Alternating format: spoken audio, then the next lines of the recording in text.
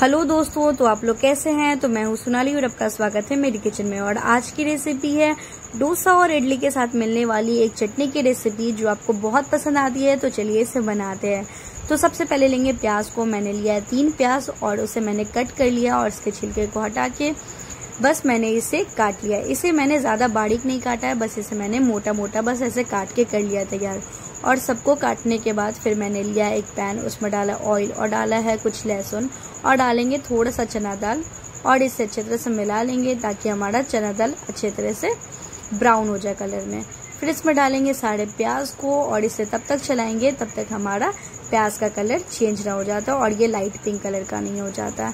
जब ये light pink colour का हो जाए तो इसमें डालेंगे टमाटर को, क्योंकि टमाटर को डालने से इसमें बहुत ही अच्छा फ्लेवर आता है और थोड़ा सा खट्टापन भी आता है जो हम लोग को चटनी में चाहिए। तो मैंने लिया है इसमें दो टमाटर मैंने काट के इसके अंदर डाल दिया और इसे भी मिलाते रहेंगे। फिर इसमें डालेंगे थोड़ा सा नमक ताकि हमारा प्याज और टमाटर अच्छे तरह से जल्दी पक जाए। इसे भी मिला लेंगे इस फिर इसमें डालेंगे पीनट और मिर्च ताकि इसमें बहुत ही अच्छा कलर भी आ जाए, मिर्च की वजह से और थोड़ा सा तीखापन भी आ जाए।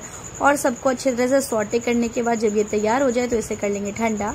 इसे डालेंगे मिक्सर ग्राइंडर के अंदर और इसे ग्राइंड कर लेंगे। ग्राइंड करने के बाद इस मिक्सर को निकाल लें एक बोल में। बोल में निकालने के बाद इसमें लगाएँगे एक मज़ेदार सा तड़का। तो सबसे पहले लेंगे उसमें पैन और डालेंगे इसमें ऑयल और डालेंगे थोड़ी सी काली सरसों और इसे अच्छे तरह से चटकने देंगे। जब ये हमारा इसका कलर चेंज हो जाए तो इसे डाल देंगे चटनी के अंदर और इसे अच्छे तरह से मिला लेंगे। और ये हमारी डोसा और इडली के साथ मिलने वाली ये काला चटनी बनके तैयार है। तो पसंद आए तो please like subscribe and share